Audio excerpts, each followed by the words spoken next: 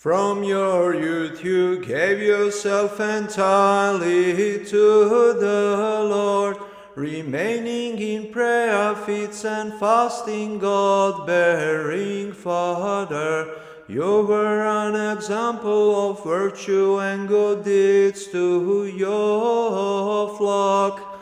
Because of that, God saw your good intention and established you as a pastor and good hierarch of his holy church.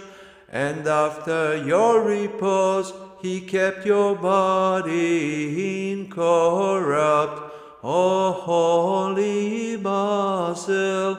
Therefore, with boldness, pray to Christ our God that our souls may be saved.